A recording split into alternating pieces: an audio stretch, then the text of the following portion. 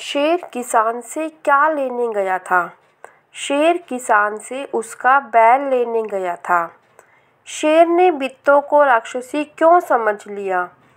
जब शेर ने बित्तों को यह कहते सुन लिया कि वह चार शेरों का नाश्ता करती है तो उसने बित्तों को राक्षसी समझ लिया। बैल की जान कैसे बची?